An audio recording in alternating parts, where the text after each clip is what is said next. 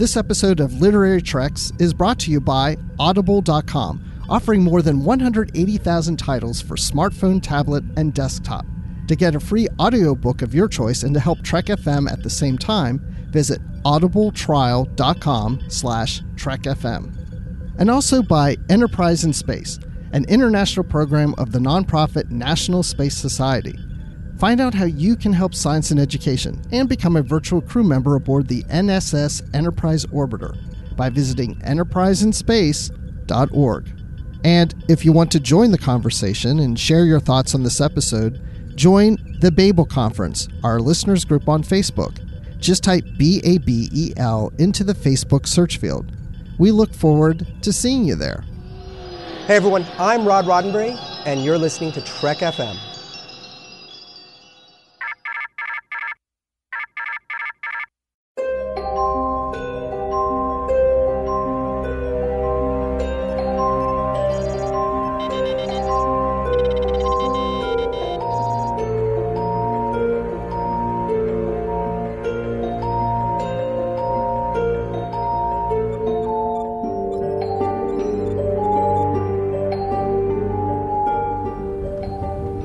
Taking all these books?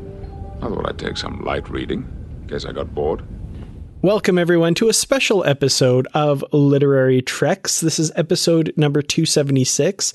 And I guess that's a little redundant because I think of every episode that we do as special. Uh, and what makes it really special is, of course, my wonderful co host, Bruce Gibson, who is joining me as always. Bruce, how's it going this evening? Ah, shucks. Don't call me wonderful, but I'm doing great. I'm just doing well.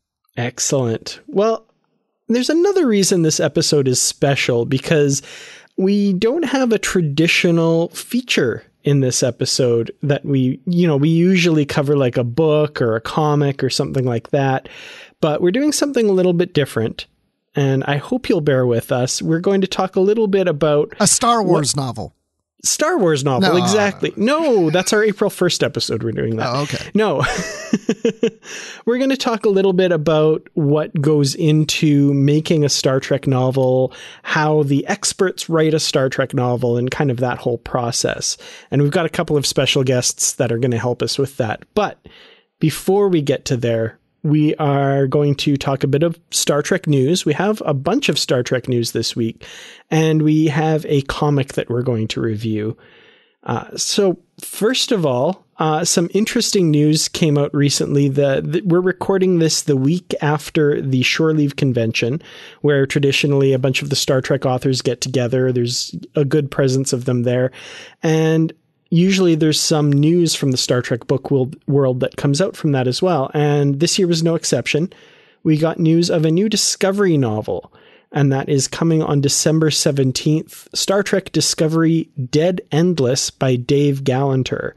Uh, now, Dave Galanter is one of my favorite Star Trek authors. He's written a, a few books that I really love. My absolute favorite of his is Troublesome Minds. I think that's a great novel. if you haven't read it, go read it.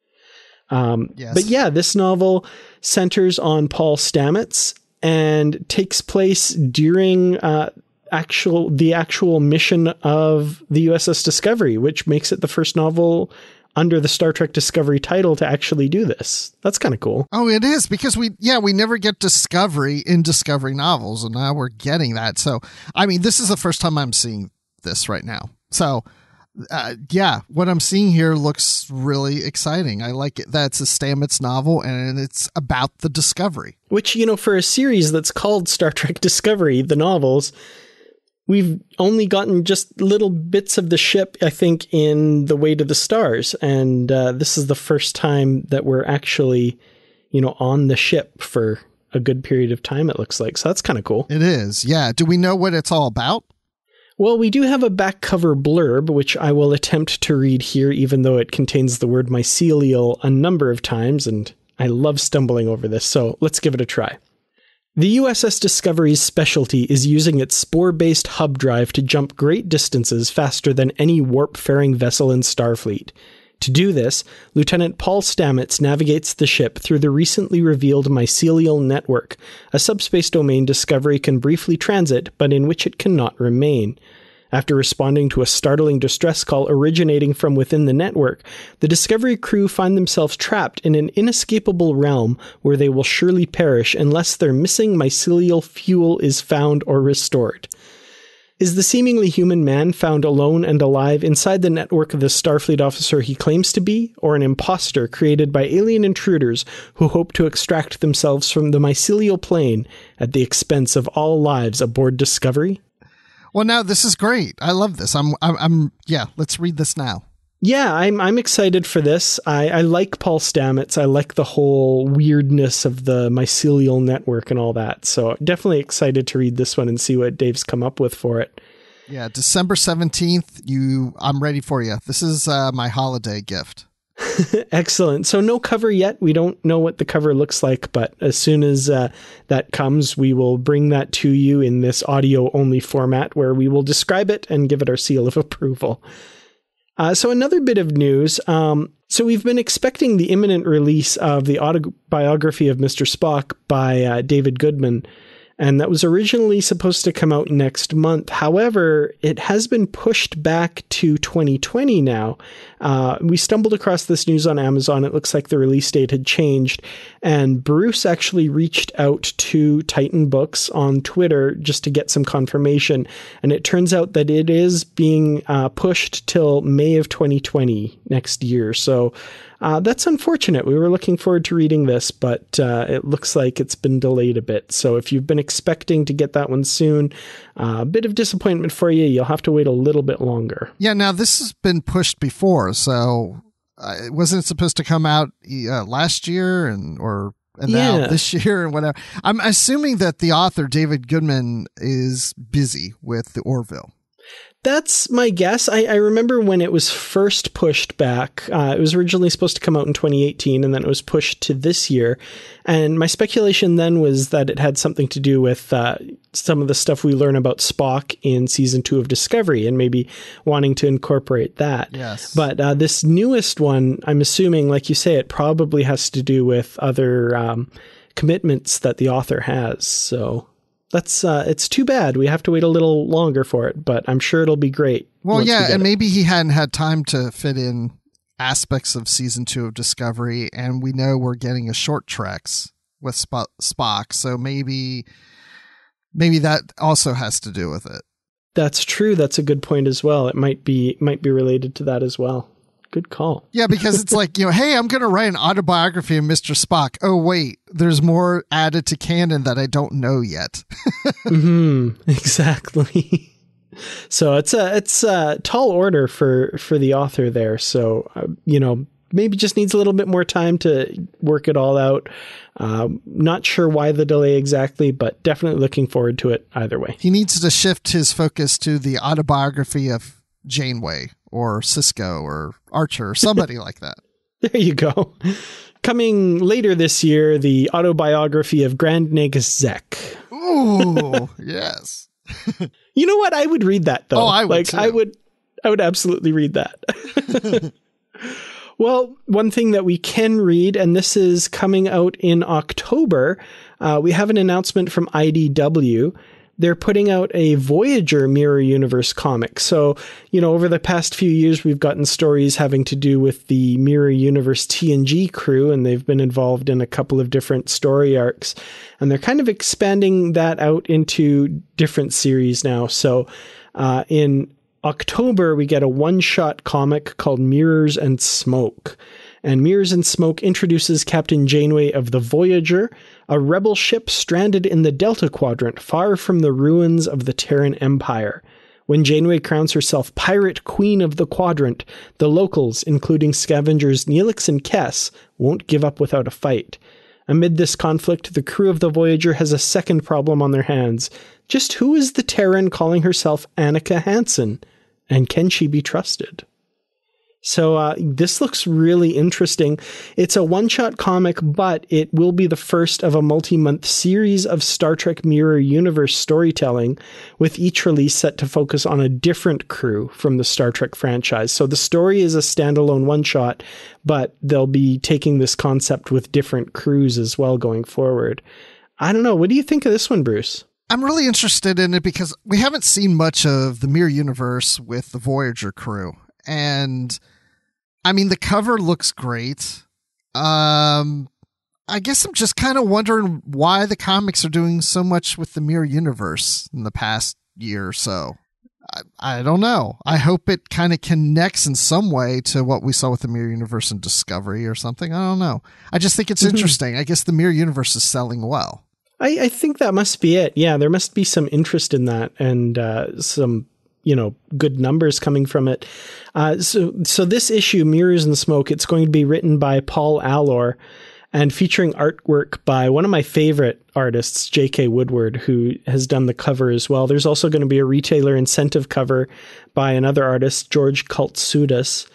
Um, looking at this cover, it's it's got the Voyager crew uh, in their Mirror Universe counterparts, and I see there's the Mirror Universe Tuvok there. Now, I'm wondering if they remembered that the Mirror Universe Tuvok showed up in an episode of Deep Space Nine oh, in the that's third right. season through Yes. the Looking Glass. Yes. I wonder if they've remembered that and and because I foresee a, a possible continuity issue here. Uh, maybe, but you know, there could be multiple mirror universes. there we go. Yeah, that's uh, easily explained in the multi multiverse theory of Star Trek. That- okay, my mind is set at ease. That's now. how I always approach things. It makes your life so much easier. Excellent. Well, speaking of comics, uh, we do have a comic to review, like I said, and this one is an exciting one. It's issue number six of the Q Conflict. So, the final issue of this six issue series, the Q Conflict, in which uh, our various crews are pitted against one another. Um, to fight kind of a proxy war between the Q and other um, omnipotent like beings. So here we go. This is the final issue. And uh, first of all, I'm going to ask just kind of your initial thoughts on this one, Bruce. What did you think of this? Oh wow, you put me on the spot. Um gosh, I don't know. I I don't know. I like this one, but maybe not as much as the previous two. I remember really liking I think I can't remember, maybe it was the fourth one.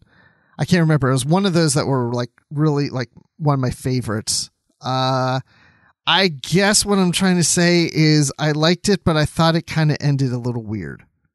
I am going to absolutely agree with that for you, with you, um, because yeah, there are a number of things in this issue that I liked.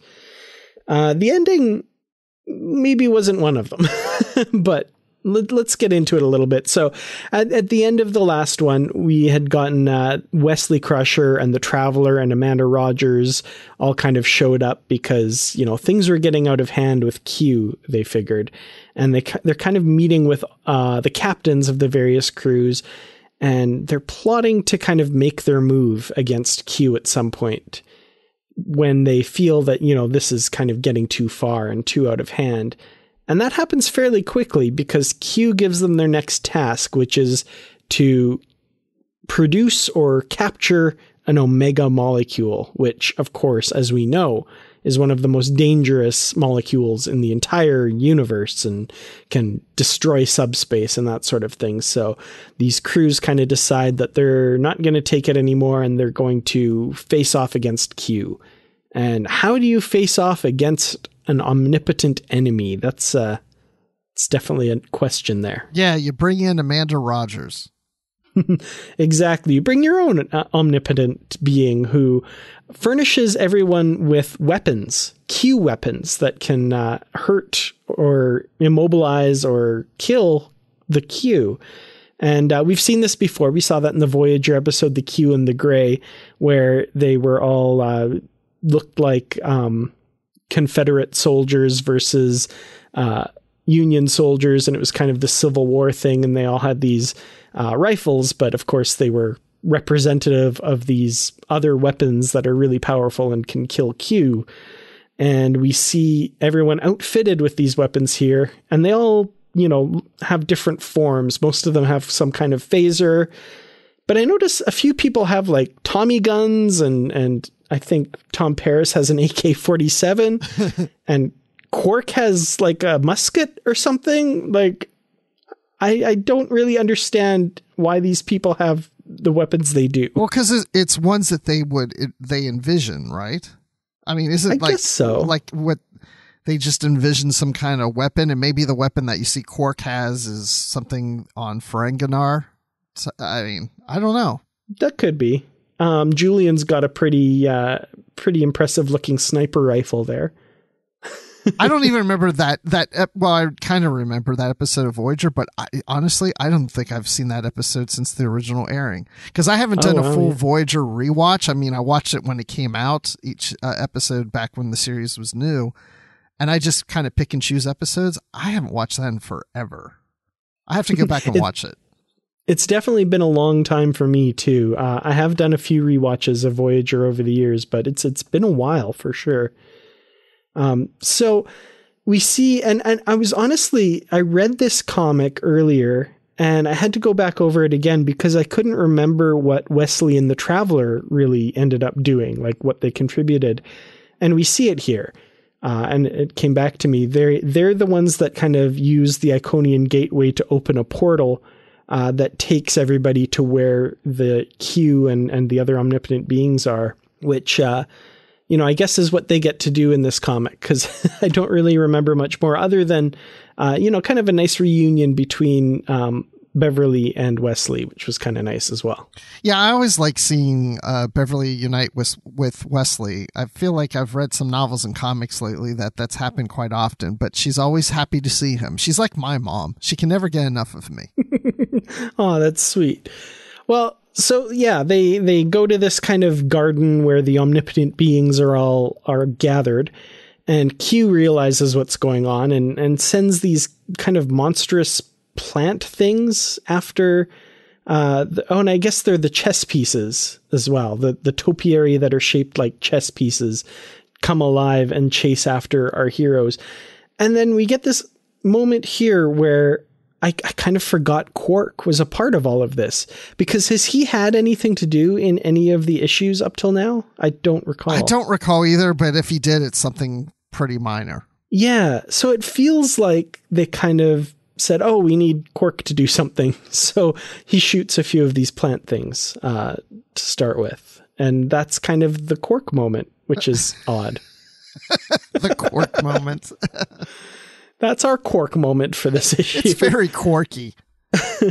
So we get this uh, extended kind of battle between um, our heroes and these chess pieces made out of topiary, and it involves them shooting them and burning them down and getting closer to Q. And Q starts putting different obstacles in their path. Uh, but the Metron and Ayelborne, the Organian, are kind of like they're piecing out. They don't re- want to have anything more to do with this. But Trelane decides to uh, team up with Q, and Q creates those animal thing soldiers from and Q, and there's a big, huge battle, and there's Magatus, and there's even I think like the parasites from Conspiracy, Yeah. and some Jem'Hadar maybe. I'm not sure what those are. Yeah, there's a whole variety. Breen. Yeah, Breen. yeah. Which I kind of thought was cool. It's a little, you know, like the next panel, it's like, oh, what's next? Oh, there's those and there's these, you know? Yeah, and uh, but the Starfleet crew managed to hold their own. They they keep fighting all these things off, and Julian Bashir with that uh, sniper rifle that I mentioned lines up a shot on Q and doesn't kill him, but kind of grazes him and and uh, causes him to be injured. Oh, I didn't notice the Talosians. I'm just noticing that he was gonna like summon the Talosians in there. I thought that was an interesting choice, though. Why the Talosians? Yeah. I, I have to admit, I didn't notice that the first time reading it through here. But yeah, he's just about to bring the Talosians in. And I'm wondering if they were going to create some sort of mass illusion or something like that. But the other Q, the Q that we first meet in the episode Deja Q, played by Corbin Bernsen, kind of steps in and says, No, no, no, you got to stop this. And it all ends in this kind of uh, peace treaty. I mean, the battle was fine because of all the different uh, you know, alien races that came through that we recognize more so from the original series than some of the others. But I, I mean, I like that. I like Trelane and, and Q teaming up because I still think of Trelane as, you know, being part of the Q, but I think at this point he doesn't realize he's part of the Q.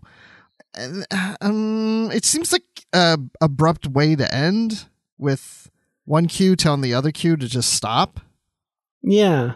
but I, I like then that they're having like a they're that they're having like a summit or something, a meeting to decide, you know, what to do and and Q's in a suit and it was it's just a little strange that I mean I like that they had the discussion about uh, ending things and they're negotiating and that Julian Bashir is just kind of the hero because he knows not to shoot Q and to kill him because that would only make things worse. Does that make sense? I, I think that that part kind of made sense to me. I was like, okay, you know, I it, it seems weird that he was ordered to d- do whatever it took, kind of thing, and that he was the one that kind of had to make the decision. I would think that like, you know, maybe he wouldn't be ordered to kill Q, but I I don't know. It was a different choice, but Yeah. I kind of go along with it here. But the part that really bothers me is Amanda and Wesley. They're Yes. Decision that they're going to give up all their powers and just li- live a normal human life. I agree completely. I don't know why this was put in here. I'm assuming, as far as Wesley goes, because we see him in a Starfleet uniform in Nemesis, that they wanted to tie that in somehow. But that really bugged me that, like, Wesley's no longer a traveler, doesn't have powers, and oh, he's just to be back in Starfleet now, like nothing happened, kind of thing. That, yeah, that bugged me. I didn't like that because.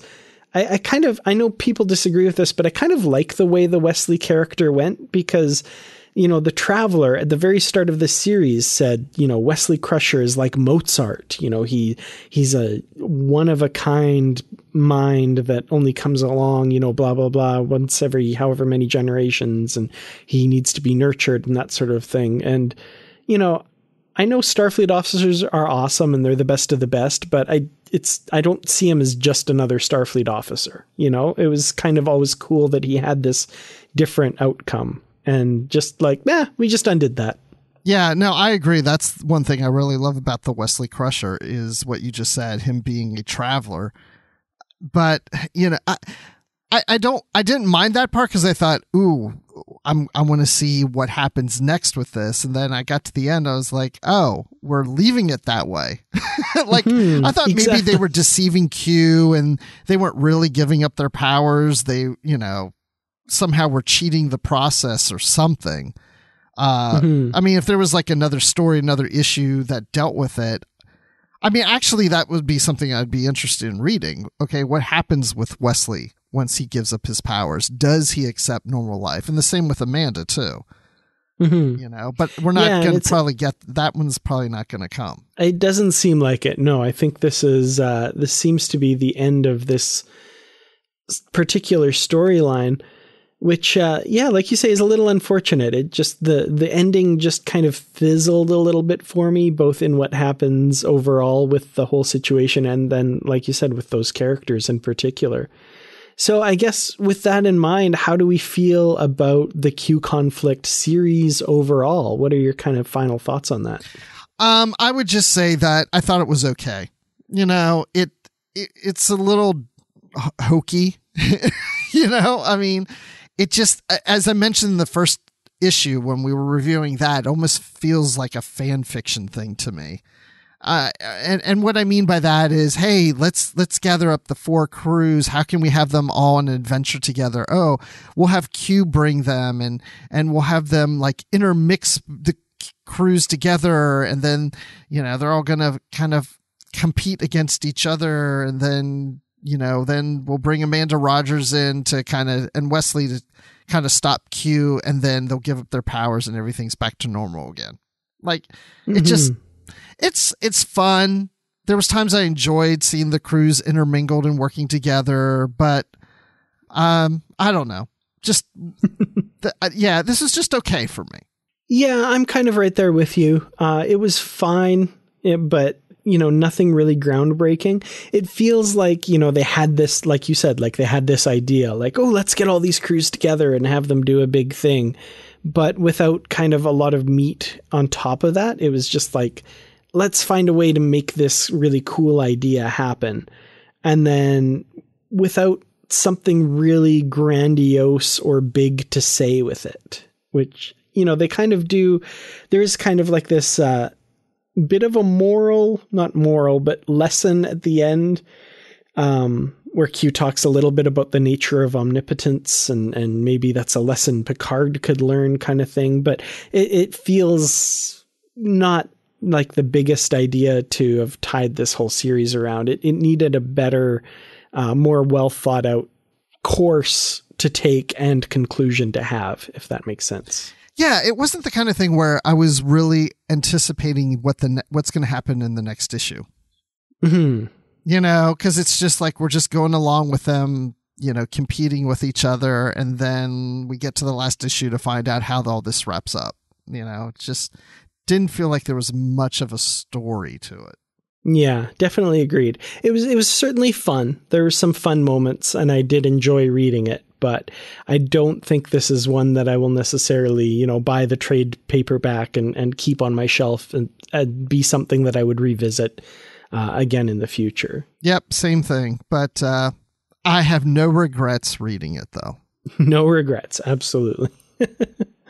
Well, before we get to our feature, uh, we want to pop over into the Babel conference and look at some feedback from Literary Treks 274, An Old Man in the Park Feeding Pigeons. And that was all about the, the original series novel, The Children of Kings by David Stern. That was the latest Christopher Pike novel that we've read. So uh, let's pop over to the Babel conference now and see what you had to say. So, one of the things we talked about in that episode are the Star Trek ebooks that are on special each month. And Oztrekkie mentions that many of the Star Trek novels Facebook groups have posts that show which ebooks are on special for each month. Literally Star Trek, which is one of the groups that Justin Ozer talks about when he's on the show. Uh, Oztrekkie says that's the best group for listing the specials each month, and you can subscribe to Simon and Schuster to get the details to get the deals emailed directly to you. So thank you so much for that. That's awesome. Uh, and then going into the novel, he says, I just finished this novel this week for the first time. Due to the cover, I just pictured everything in the Prime universe as I didn't read the author's notes. I loved Boyce's arc in this novel. He shows the same determination as McCoy in treating the patient in front of him regardless of who they are or what they have done. The conspiracy theory that was built up and the characters not knowing who to trust kept me guessing until all was revealed, but I was expecting a larger, more far reaching conspiracy other than a couple of rogue Starfleet intelligence personnel thinking they knew what was best for the quadrant. I also kept waiting for Captain Vlasidovich to be part of the conspiracy. I didn't picture the conspirators as Section 31 agents, just inept intelligence types. I think that's a really good oxymoron. the continuity errors don't worry me as much as some. I enjoyed reading what was for me a previously unread Star Trek novel. For me, I give this one four stars. Well, awesome. Thank you so much for uh, your thoughts on that. I agree. I the one thing that I was thinking was I didn't think the intelligence officers were rogue. I think they were working for Starfleet intelligence, which made me really question their motives even more. But that's a good point. They might have been rogue and kind of doing this on their own as well. You know, you could say that they were section they were in Starfleet intelligence, but secretly were working for Section Thirty One, or they went rogue, or whatever. So, yeah, that's interesting. So, Justin Ozer says, I really enjoyed year five, number three. I thought about it only being three years for all of those changes, but it didn't bother me much. I figured there was a lot they could do if they had everyone on the planet on board with it and working like mad towards their goals. And in my head canon, the communicator has a copy of Space Wikipedia on it with tons of info. Anyway, I realize it still stretches things, but I set it aside and had a good time with the comic, and I'm looking forward to the next issue. Yeah, Justin, I uh, yeah, I agree. I'm thinking, well, you know, it's a you know communicator small, but as we know from carrying our iPhones and androids that you know a lot of information can sit on a small device so yeah there probably is something like a wikipedia in the communicator It's maybe like the Star Trek version of the Hitchhiker's Guide to the Galaxy. Maybe it just says Earth is mostly harmless. No, wait, it had a lot more information on Earth. Never mind. well, Ian Kimmins says, Not my favorite Pike novel. I finished it, but it was a hard slog. I'm really enjoying the Year 5 comic. Only just finished IDW's Year 4, which was great as well.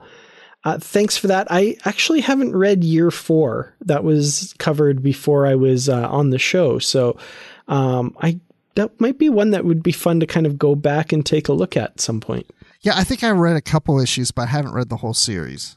And then we had Brian Cavici say, I have this novel, but I haven't read it yet. Well, Brian, read the freaking novel because it's good.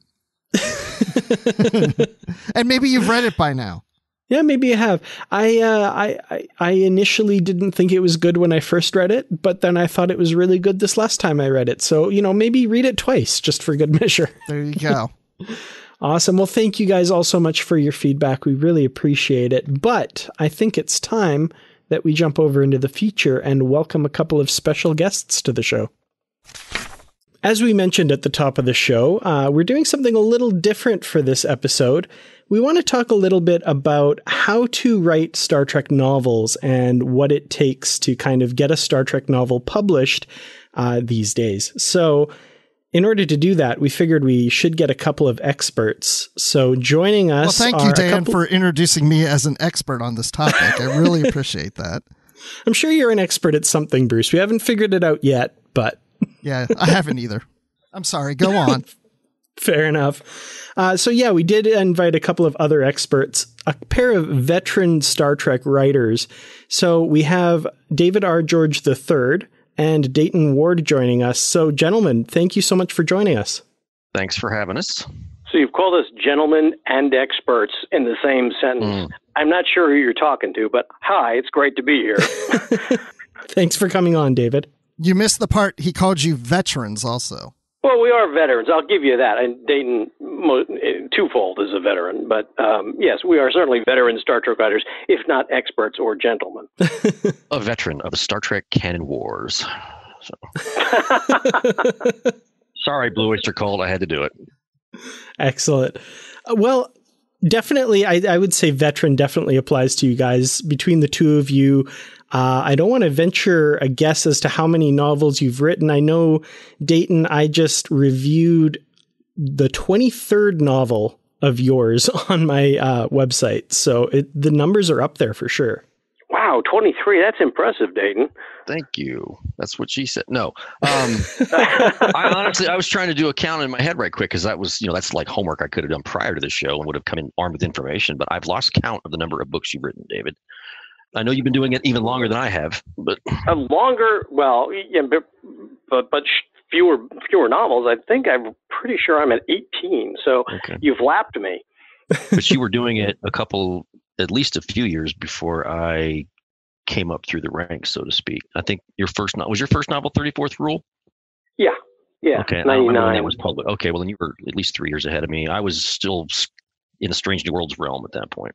I got to, I did the 34th Rule, and then I had a little bit of a hiatus as they were playing musical editors um, at that time, and, and, then came back with, what was my second one? Was it Twilight, I guess?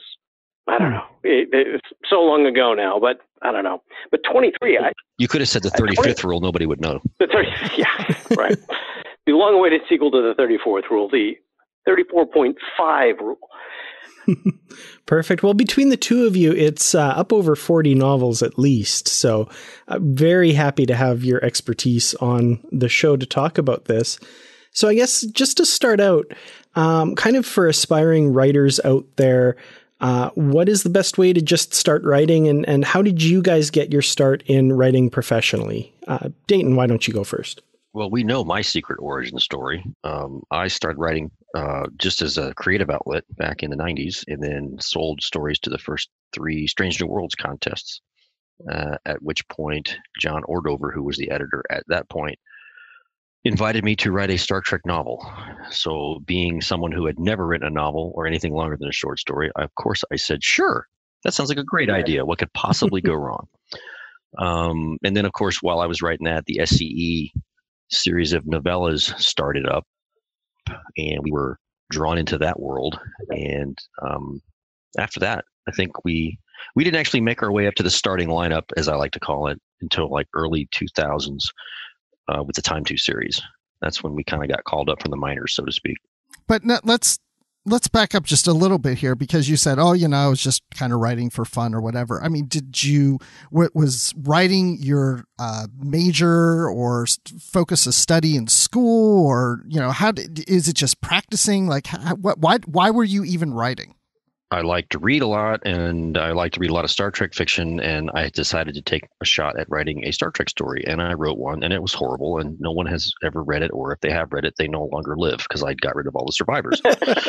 and I burned all the copies because it's that bad.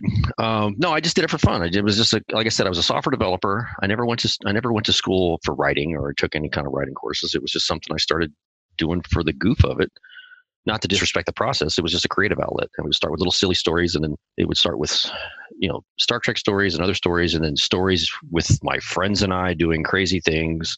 You know, you know, idealized versions of ourselves. So of course, we all have six pack abs and and we have superpowers and stuff like that. But I mean, it was just a way to just have a little fun. And then the Strange New Worlds contest came along, and I'd been writing, I'd written a few Star Trek stories that other people had read and liked enough to kind of not pressure me, but suggest that I enter the first contest. So that's when we all know what happened after that. So Pocket lost its mind and hired me. Uh, and that's what I've been doing fairly ever since. I mean, I, it, for the longest time, it was a part time thing, writing. Uh, I worked full time as a software developer, and then uh, just a few years ago, I decided to write full time as a freelancer, and that's where we are now. And that first story that was uh, the aliens are coming, is that right? My first short story for Strange New Worlds was called Reflections. It was a TOS tale. Oh, right. Excellent. And uh, so, David, how about yourself? How did you get started kind of in the professional writing arena? Uh, in the professional writing arena, um, well, I was actually living in San Francisco at the time um, that I decided I, I've wanted to be a writer probably since I was five years old, but I never wanted to be a starving artist. So I didn't study. I didn't go to school and be a, a, a writing major or anything like that. I majored in mathematics and scientific computing. I did have a minor in writing, um, but I, I, I just I, I, don't want to be a starving artist, so I, I was going to make sure I was employable. But in in um, in the, the mid 90s, I was living in San Francisco, and I decided to try my hand at writing. And I wrote a, a, few scripts, and I actually ended up having a few agents, a few television scripts, um, and I uh, I got some agents, all of whom apparently were very bad at their jobs. Uh, and, and, whom I grew to loathe over time. I actually had like a, a Cheers script and a uh, maybe it wasn't Cheers, the Wonder Years, the Next Generation, Star Trek: The Next Generation script. Um, I had a few scripts, and and they were all they eventually got shopped um, to shows that within within weeks of me shopping, uh, my agent shopping the scripts to these series, the series got canceled. I hope. I bear no responsibility for that cancellation, but um, they showed. Oh, I wrote a Quantum Leap script. Quantum Leap would not look at Quantum Leap scripts though because they were fearful of being sued.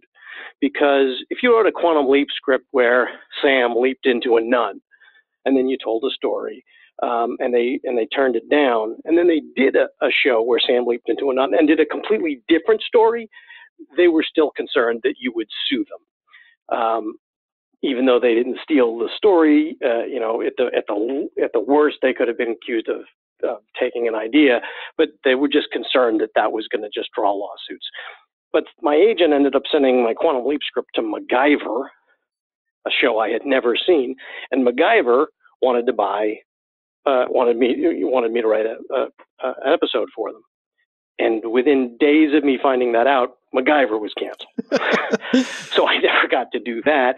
So then I ended up um, pitching uh, with a writing partner, pitching some stories to Voyager, and that was my first professional sale. We sold the first season Voyager episode called Prime Factors. It was, depending on how you count, the ninth or tenth episode of the first season. And in fact, we pitched the episode based on the show's Bible. We'd never seen a single moment of it because at the time we pitched, they were still filming the pilot. caretaker. So um, that that was my first professional sale. So going to the world of Star Trek novels in particular, I would I'm curious as to kind of just like an outline of what the process a Star Trek novel goes through, uh, kind of from conception to publication. Well, I think Dayton and I can probably both speak to this. I think when well, it, it, it's probably different the first novel out of the chute because you're you're selling a Star Trek novel for the first time. But subsequent to that first time, where you break through, um, it can be uh, there can be different ways in which you, you, end up writing a Star Trek novel. A lot of times, uh, you'll say to your editor, "Hey, I want to write a at, at Simon and Schuster at Pocketbooks. I want to write a Star Trek novel," and they'll say, "Fine." We've got a we've got a next generation slot open. We've got a Voyager slot open. We've got an original series slot open, or or they'll come to you. And in fact, I, I think most of the time they've come to me um, in, in the course of my writing novels and say, "Hey, we want you know, want another Deep Space Nine book." Sometimes they will give you some elements that they like.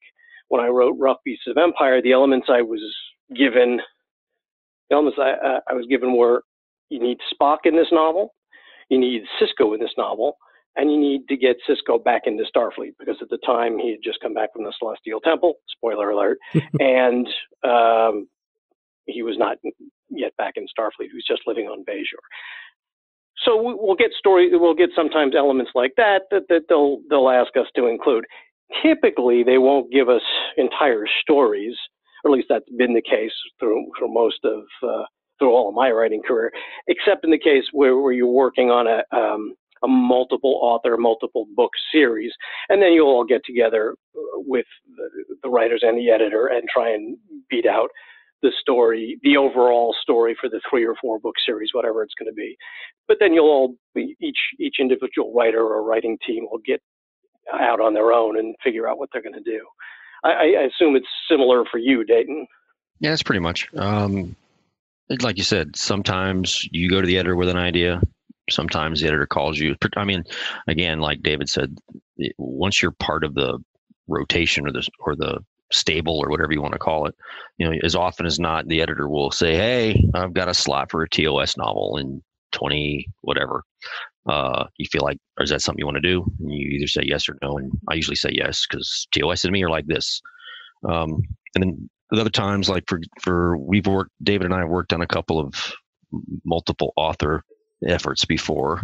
So what he describes is true. We get on call and we hammer out the big beats of the overarching storyline and then figure out where each book might intersect you know what will it play with within that arc and then we all go to our separate corners and come up with a story that feeds into that larger storyline. Hmm. and then uh, some poor bastard with the last book in the series usually ends up having to tie up all those loose ends. Can't imagine that job yeah. at all twice in a row. So um, no that's a lot of fun though. I mean i enjoy the collaboration that comes with those types of projects because you get you know a lot of folks on the phone and everybody's into it they're passionate about the project and they want to do right by it and you bounce ideas off each other and there's a lot of yes and and a lot of give and take and um, it ends up being my favorite part of the whole process a lot of times. Yeah, that collaboration is a lot of fun. The editor, and right now it's Margaret Clark and has been for a while, typically you know they oversee the project and and she'll have a lot of ideas and throw things out there. And she'll keep she'll keep everybody on the beam as far as continuity goes to intercontinuity uh, continuity between the books and also with the shows and films. Um, but also the writers are pretty devoted to that as well. I've i've plenty of times i've gotten emails not even when I not not even when I'm writing the same in the same series as somebody else, but uh, or in the, in the same uh, you know book series. Um, but somebody will write a writer will send me an email and say, "Hey, did you use Bashir here, and and what exactly did he do, or or or whatever?" So because it's going to feed into some book they're writing down the line, and they just need to know that. And I've certainly sent out some of those emails myself knowing that somebody's written something that's going to have an impact on what I'm about to write. And uh, everybody's always very, very uh, gracious uh, and generous with their their time and effort in, in getting you those details. These days, the editor, in this case, it's Margaret Clark, as far as the the person on the in the trenches or on the front line helping the authors directly. Uh, it's she's very much like the head writer in a writer's room or a showrunner in a writer's room on a television show. Um, she she keeps track of what everybody's doing. She keeps all the plates spinning. She makes sure that there's any intersections between books that though any potential conflicts are addressed and fixed if as appropriate. And you know it's just uh, i wouldn't want that well that job would be fun but they'd have to pay me a lot of money for it. Um, yeah. it's, it's, like herding cats. I mean because we're all you know we're all writers and we all have our little egos and we all have to be tended to and nurtured and fed and all that kind of stuff. Um, and she's very good at handling various disparate personalities. uh, wow, that's a very generous way of putting that. yeah, well, I mean, you know, we are all we all have our quirks and our kinks and our little problems that she has to tend to. So she's a good mama mama duck, I guess in that yeah. regard. Well, you're t- been talking about the the continuity and, and working with other authors to keep things consistent, keeping that continuity going. Is someone at Simon Schuster or maybe it's Margaret keeping like a database of all this information, or are you just strictly relying on talking to the other authors or looking at memory beta? I didn't know if there's some kind of master sheet or database where everything every character is being tracked and what book it's in and, and so on and so forth. No, there's nothing like that. Well, yeah. I, I know that uh, I know Marco Palmieri, uh, who was a an editor for a while uh, on the books. Um, he did keep not an overall uh, database of facts, but but he did keep some some lists and, and notes on things. But I think memory beta is probably better than anything else. Um, I mean, you're always best to go to the source material, but you can get an idea of what that source material is from from memory beta. Um, there are, I mean, there are a couple that? of minor lists. There's one list that I know that Margaret, well, I mean, because I was keeping it up for a while because I was writing, I think I wrote three or four next generation books in a row. And so uh, we, we kept a roster of every, uh, we kept a roster of all the characters on the Enterprise E, all the new crew members who had been introduced, even if they just were NPCs, you know, but referenced, we would we would keep them in this master list so that if somebody killed off somebody, you know, we could double check. Oh, you can't kill off that person, or you know, you, you can't use that person. They were killed off in the pre, you know, previous book or something like that.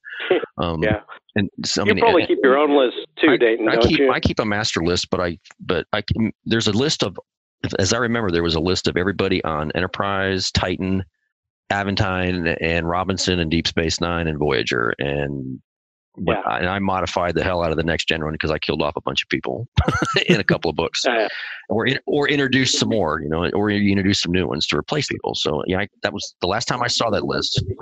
Yeah, last time I saw that list was when I finished Available Light, and that was so that would have been back, you know, last late last year. Hmm. So, but I think overall, that all I would say most details are are you know, in Margaret Clark's brain. Brain and yeah. brain. What is the brain? Yeah, she's pretty um, much the keeper of the of all that. Yeah, but but really, I think fans go crazy about canon. They go crazy about continuity. I think as fans ourselves, my, Margaret's certainly a Star Trek fan. Dayton and I are Star Trek fans. We don't want to get things wrong, so we, we do our due diligence in trying to keep things straight. Also, it's it's sometimes not easy because um, not only do some of the books, particularly earlier books, uh, contradict each other, oftentimes they end up contradicting the show. So it's really hard to sort of keep all these details um, exactly right, but we, we do our best. Well, David, when you did the Crucible trilogy for the 40th anniversary, you were actually given permission not to uh, have to work in that novel continuity. Well, I, you know, when I sat down to write those books, I, I, I remember sitting down at my desk with a pad and a pen, and uh, and I was really excited about it because it was my first time writing in the TOS universe, uh, at least professionally. Um, I'd written some stuff, you know, when I, actually when I was a kid. Um, uh, but I, I sat down and I, I was really excited, and I, I put my pen on the pad, and I thought, what in the hell do we not know about these characters that I'm going to write about? I thought this was crazy, and then I thought, okay, there's what six at the time, 650 Star Trek novels or whatever it was, many of them which were original series. I've read a lot of them, but not only do I not remember those, but I haven't read all of them. So how am I going to keep consistent? And again, knowing even those books weren't consistent with each other or with the show and films, how, what am I going to do? And, and I talked to Marco. Marco Palmieri was my editor at the time, and I, you know, what we do? And we decided, look, this is supposed to celebrate the 40th anniversary of the show. So all these books need to be is consistent with the show and the films, and that's it. And for the show, we also included the animated series. Um, and as much as we could, you know, any details that had been revealed in Next Generation or Deep Space Nine or, or Voyager. But um, yeah, so it, I don't really like the notion that it's a separate continuity, but it is certainly of a continuity with Star Trek canon. Um, and because I know I, I'm I'm kind of I think I'm an outlier in this among the writers, but maybe not. I don't love um, sort of fan service. I don't I don't like an overabundance of of winking at the camera and and and putting in little in jokes that readers will get. Once in a while, it's fine. I don't like doing a lot of that.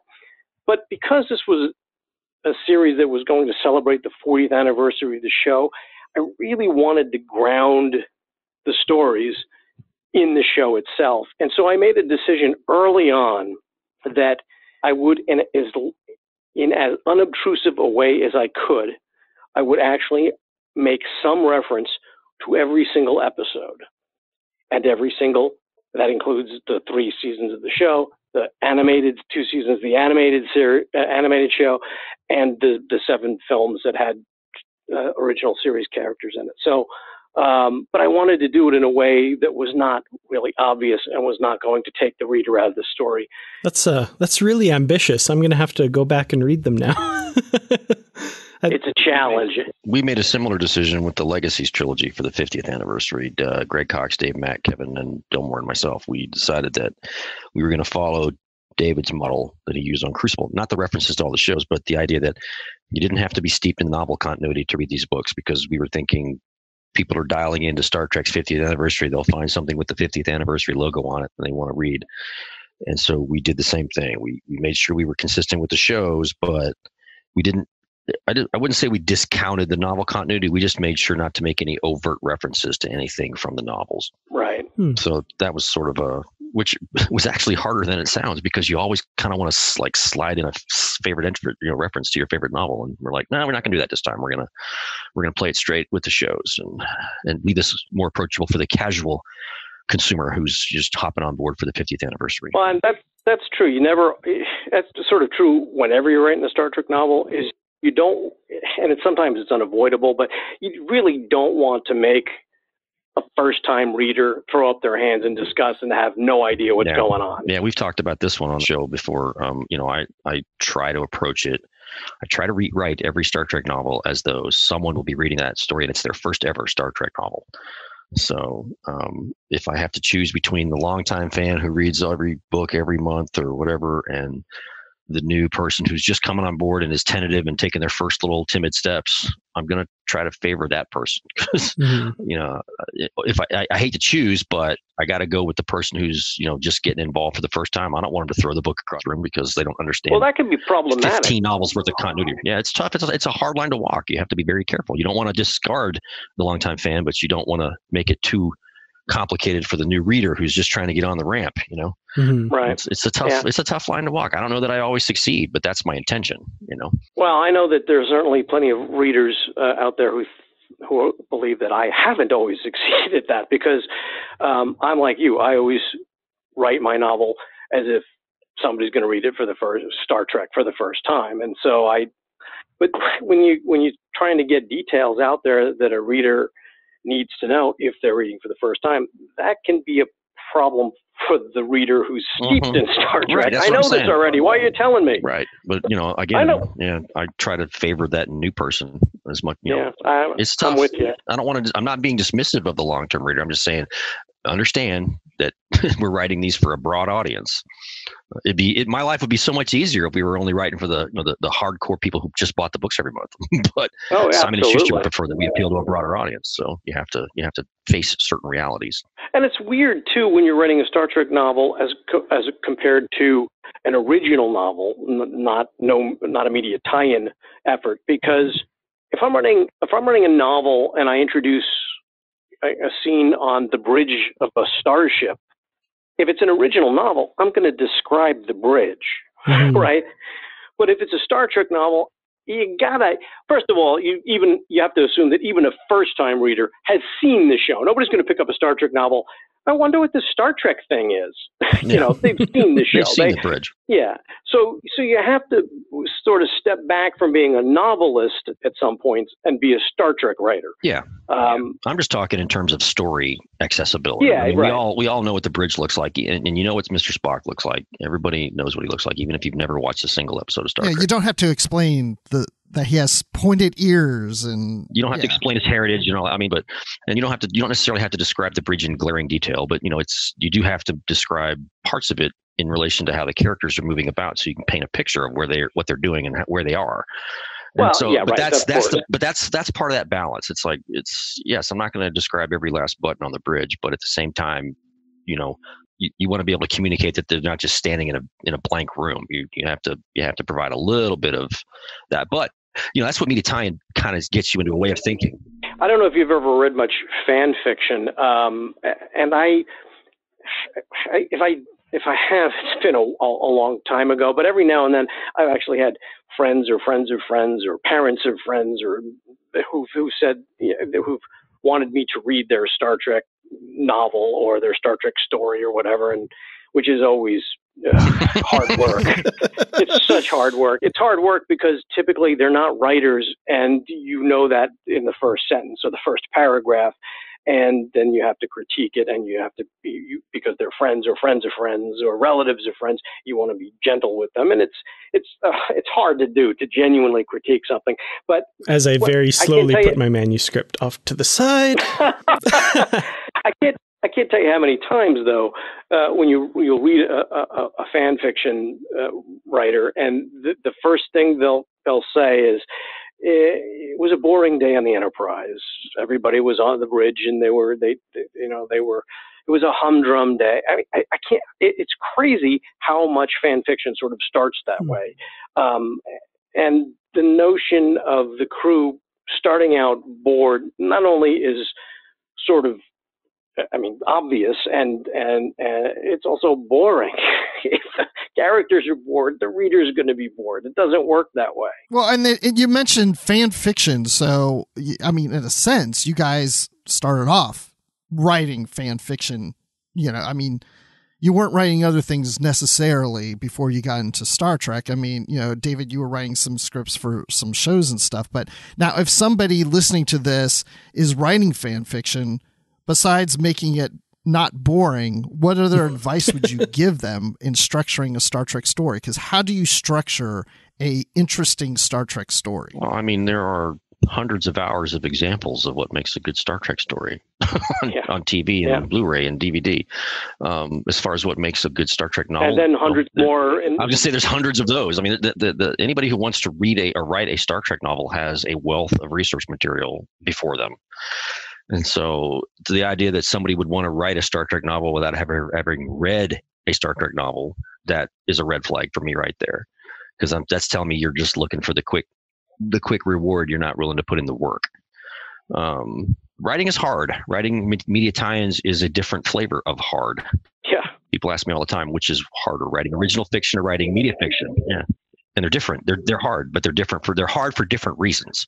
It is interesting that uh, I've met a lot of uh, Star Trek fans who purport to want to be writers, uh, and I'm sure that some of them do.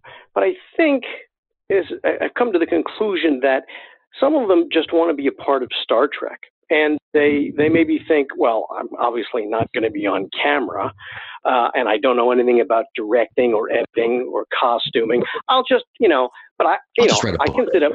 Yeah, I, I, I can sit at my, uh, I keep my computer and write a book. That's, but it, like Dave said, it's hard work and it takes practice. And, um, you know, I wrote, I started writing when I was very young, and it was basically just for myself. It wasn't anything that I was going to try and publish. And I, I do remember when I was probably 12 or 13 years old or something, I started writing a Star Trek novel. Um, and I, I don't know how far I got, maybe maybe 50 pages or something, which you know for a 12 year old is probably a lot. But um, you know that that's not quite going to cut it. you really need to you need to sit down and you said what makes a good Star Trek? How do you write a good Star Trek story? The first thing you have to do is is come up with a good story. Forget about it being Star Trek because everything that's true about about writing a novel and and, and storytelling is true of writing a Star Trek novel. Um, you know, you, you, have to have a beginning, a middle, and an end. You have to have character arcs uh, for, for all your characters. You you need to to go somewhere with the story. There have to be themes uh, upon which you build. I mean, if you're going to write a good Star Trek novel, you first have to write a good novel. And in fact, I always start that way. I always, when I'm going to write a Star Trek novel, I sit down and I think to myself, what exactly do I want to talk about? And I sort of start thematically that way, and then I I I, I come to the story by degrees, you know, in concert with what I'm going to do with my characters and and where they're going to end up. And the, one of the great things about Margaret and Marco before her, is that we have a staggering amount of latitude when it comes to these characters. Um, I mean, we've killed off canon characters in the non-canon novels. Um, and we don't do that lightly. Um, but if there's a compelling story reason for it, we do it. Um, and, and, we're allowed to do it. I mean, I blew up Deep Space Nine in a series called Deep Space Nine. That's pretty wide latitude. So um, I, my kudos to our editors for for allowing us to be as creative as they do.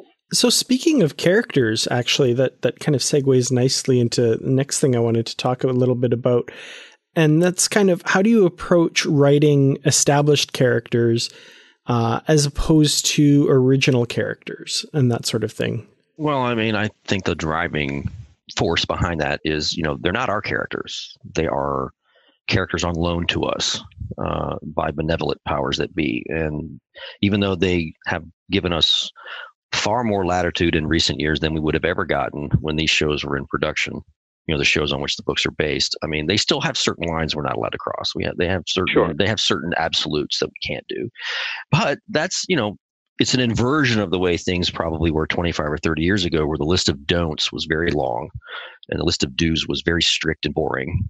And over the years that process has evolved where the list of don'ts is actually rather short and reasonable in my mind um, very reasonable. I um, think very, very yeah, reasonable. I mean, and, and usually when you propose an idea, instead of it being shot down out of hand because, well, we never saw that on the show, so, and that's the end of the thinking.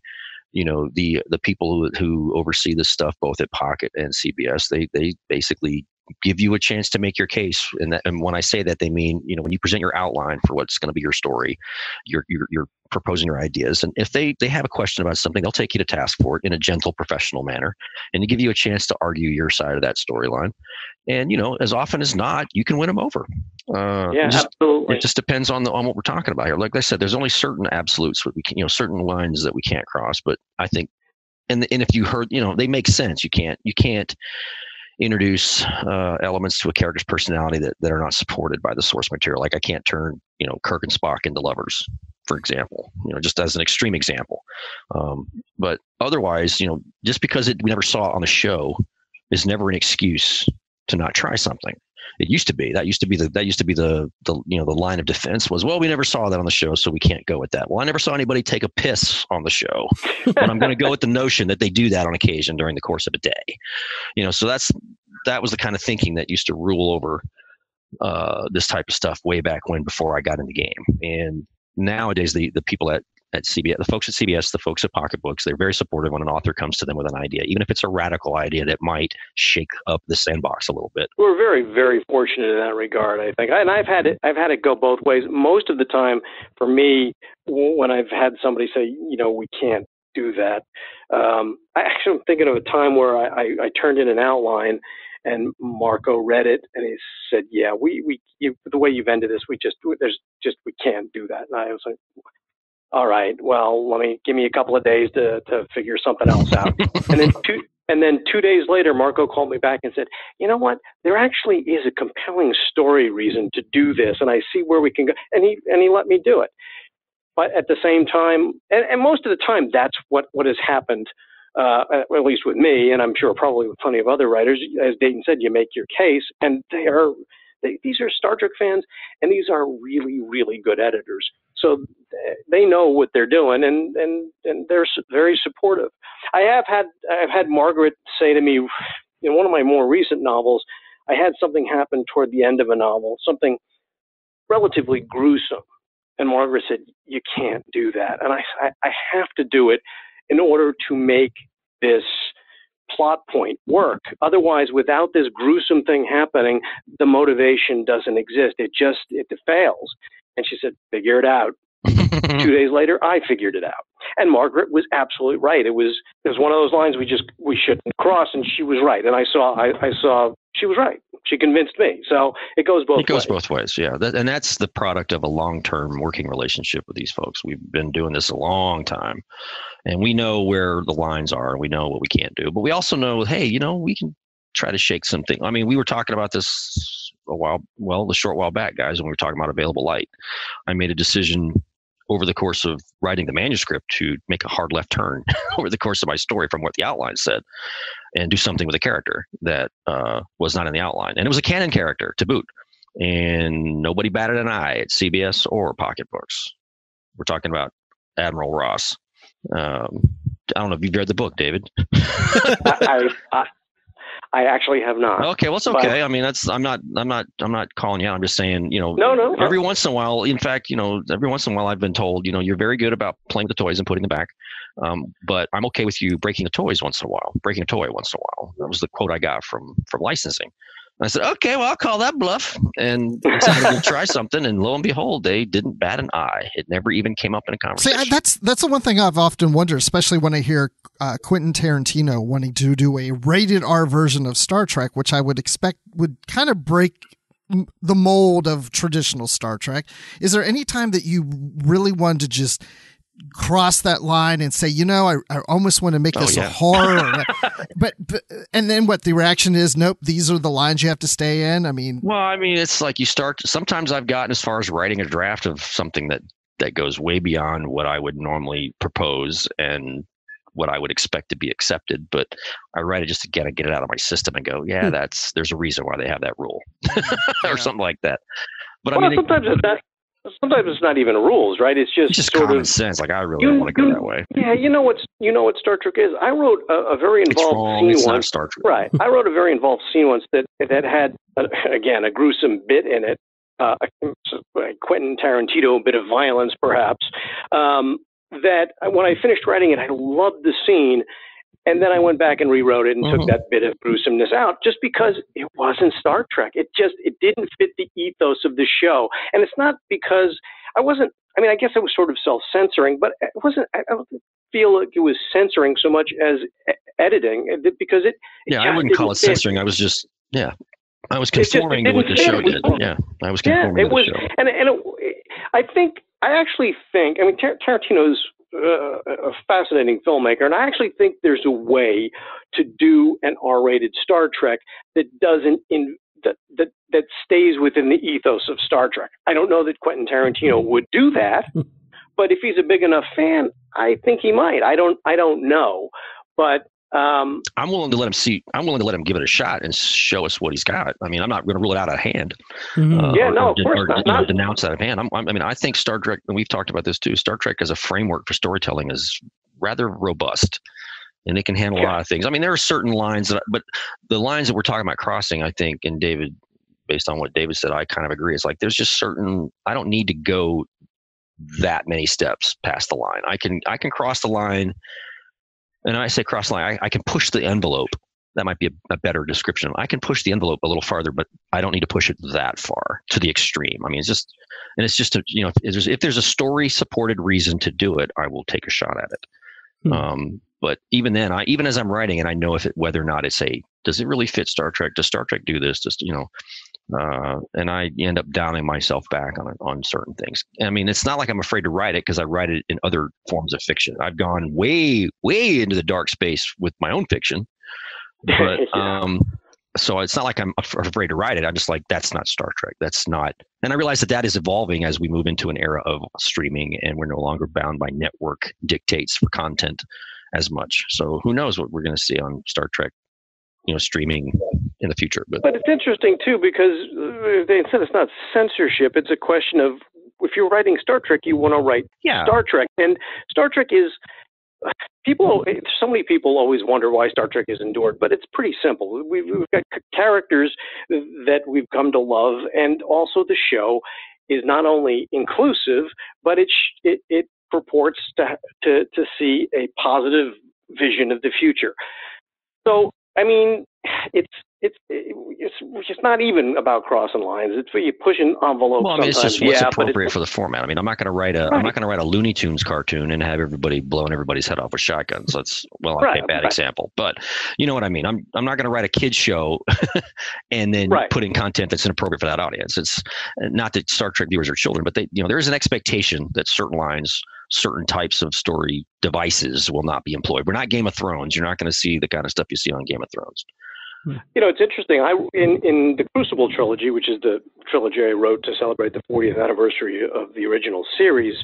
Um, it's the whole trilogy centered around the episode "The City on the Edge of Forever," and needless to say, Edith Keeler, the character of Edith Keeler, played by Joan Collins in the episode, was a part of that. And we actually, in my books, got to see a little bit more of her relationship with Kirk during the time Kirk was on Earth back in the 30s. And they had sex, And- no, right? I mean, I didn't write sex scenes, but I I made it absolutely clear that Edith w- had no qualms about being in a romantic and sexual relationship. I got a lot of grief from some fans, right? The editors had no problem with nobody it. had sex but- until the 1960s, right? That's Nope, nobody right, ever had that's sex right, until the right. 1960s. That's how I saw it on TV. So we just all Well, I showed think up some magically. people some people took exception to the fact that in the credits of the City on the Edge of Forever, Joan Collins is listed as Sister Edith Keeler. Oops. Well, So okay. yeah, well, but um, you know, so yeah, the, I mean, viewers, readers have an expectation, and um, yeah, you can. I guess that was pushing the envelope a little bit, but I think it was it. You know, now if I'm writing explicit sex scenes between Kirk and Keeler, okay, now that just doesn't fit within what Star Trek is. So you know, but it's interesting too. You know, as part of this whole process, our outlines we before we we put word one down of a novel we have to write an outline for two re- for for well for one reason but for for serving two masters. First of all uh, Simon and Schuster in the guise of Pocket Books right now has the licensing rights to publish Star Trek. And so when they're going to publish a Star Trek novel they have to know before they're going to pay somebody to write a novel what what that novel is going to look like. And they want to make sure that you're not crossing those lines and and and putting together a Star Trek story that's not really Star Trek. But also CBS, who owns Star Trek right now, they also have to approve because they're the, the license owner. They have to say yes, this is a story we want to see in in in the novels with our Star Trek name brand plastered over the cover. So so we have to make sure even before we begin writing a novel that our story is has been okayed by those two uh, big daddies. So on that level, how much um, do do you generally get notes from CBS licensing if there's an issue, or uh, does that just go to the editor and then that goes to you? Like, how does that whole relationship work there? Generally, it's uh, you give your outline to the editor. The editor sends it to the folks at CBS, and then CBS will provide their feedback to the editor. It'll, it'll be just you know normally you don't really interact directly with licensing, uh, Right. In terms of in terms of editor, but story notes, it sometimes- goes to the editor. Yeah, Have you have you ever gotten story notes from CBS? nothing extensive. I mean, I may have gotten a note. uh, uh, You know, an odd note here and there, like we would appreciate it if you didn't do this, or we would appreciate it if you explored this more. Um, Yeah. But nothing like, oh, we don't like this. I've never had. I don't think I've ever had anything. Well, that's not true. I may have had an SCE novel pitch rejected, but I'm yeah. Yeah, I've only had I think only two novels have ever gotten notes from from CBS, I've gotten minor Um, stuff, and it's and know, they were very minor. Yeah, so uh, I think uh, John Van Citters over there, and uh, is Paula Paula doing stuff now too? Paula, I think, looks at a few things on a freelance basis. Yeah, um, they're also like like Margaret uh, uh, Clark. They're they're they're looking to put out good material, uh, adult material, um, and and are supportive of the artists who are trying to create it. So um, I, I, don't.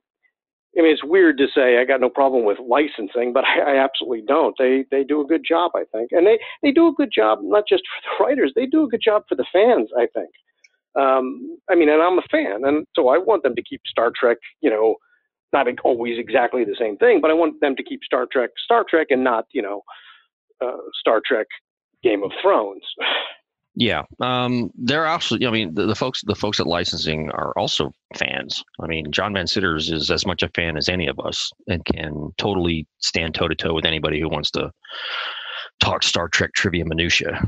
Um, Paula Block is also well versed in this stuff, and yeah, so these yeah. are, and so they're, you know, we have the good fortune of having a licensing office who's engaged with the property on that level. So that helps because that certainly does cut down on the need for big drawn out explanations to a studio about why you want to do this with their property. Um, right. But as far as notes, I mean, I've gotten a couple of minor. When I say minor, I'm talking I fixed it that afternoon. You know, that's, right, exactly. that's, how, yeah. that's how quick it is. And as often as not, or more often than not, I get accepted with no changes requested. So, yeah, that's what I. Um, that's mostly what I've gotten to. Which I, I, for a while I was thinking, are they actually reading these things? no, but they read. Heard, yeah, they, yeah, yeah, they read. Yeah, but again, I think that's a product of several of us have been doing this for a very long time now, and yeah, so we've yep. got a rapport and a level of trust established with the license holders, and you can't buy that kind of thing. I mean, that's that's uh, that's gold to have that sort of trust from from a license owner. Uh, mm-hmm. Very empowering and very very you know motivating that they trust you enough with their toys to send you out and play, knowing you're going to bring back mm-hmm. more or less how you left them. I believe that Star Trek literary Star Trek is an exception. Um, I, I, don't get the general feeling that this is the way it is with other media tie-in. I can, well, I know uh, for a fact it's not with all of them. yeah, yeah. I mean, they might, yeah, they they might they might have somebody that they can reach out to. property X, you know, might have somebody that they can reach out to to talk about matters of continuity and whatnot. But in terms of an actual passion for the pro- for the for the property and a protectiveness of the property, but yet a desire to see it explored in ways that you know that the a novel can do that a TV show can't. Um, very few properties, in my experience, have the level of devotion that you see with the Star Trek folks. But um, they're not going to go with an idea if you said, "Hey, I want to do a novel about the Enterprise E, and the main character in this one is going to be an unknown crew member like a lower no, deck? Of course not. You know, oh well, I mean, it depends. You know, it does depend. I mean, because we do have new characters that we've introduced into the mix that have replaced canon characters that have moved off for one reason or another. Um, the Enterprise is a pretty decent example because several of the positions that used to be filled by characters from the show are now filled by characters that, that authors on the novels have created.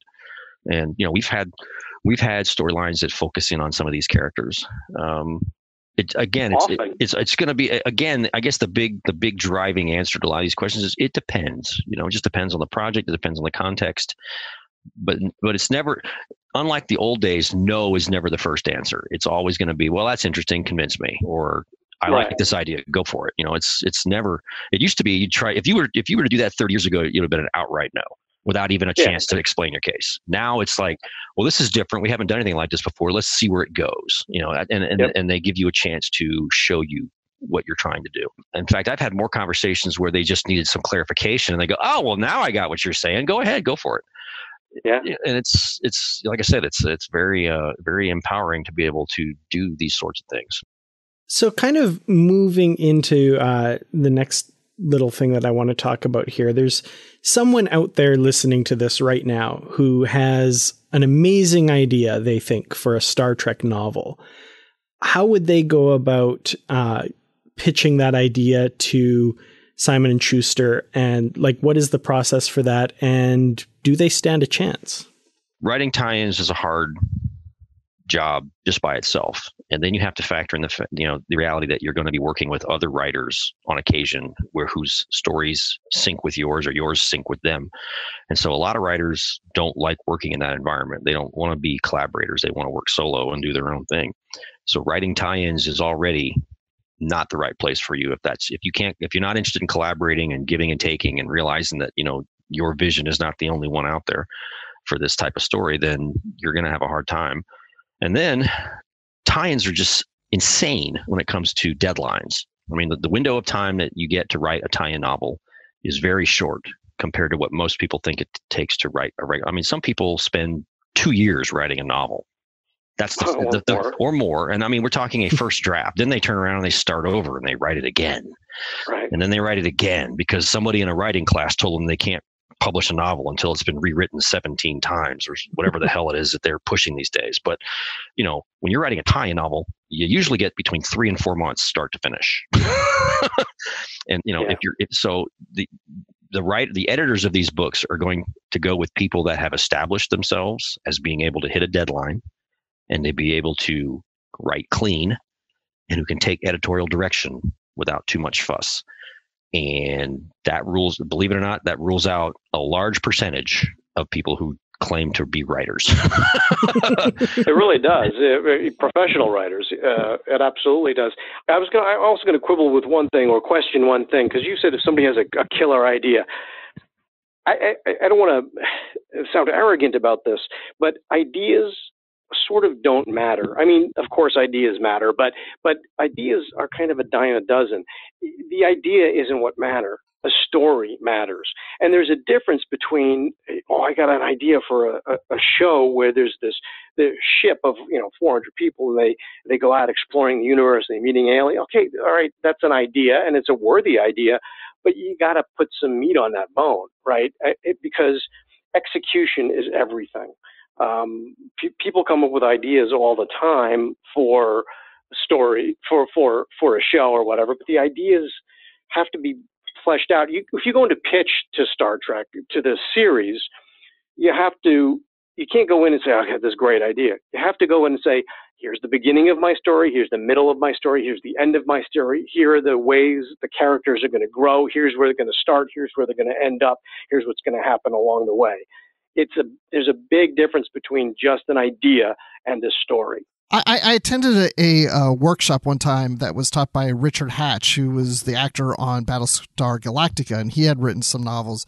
And I remember at the time he was saying you, you the way he was the way he approaches it is just you know just going with the flow like you know one beat leads to the next beat leads to the next beat leads to the, like it, that the story starts to inform itself the characters start to carry the story they have their own voice it goes in that direction which remind me a lot of like how i do improv but do, do authors have different ways of approaching and writing or you know does, oh yeah, everybody's got a different process. yeah Um, if you have ten writers they, and you ask their process, you'll get twelve different answers. right. um, absolutely. Uh, I mean, I, I, the hardest writing for me is the outline. You have to for Simon and Schuster and for uh, CBS licensing with respect to Star Trek tie-in novels.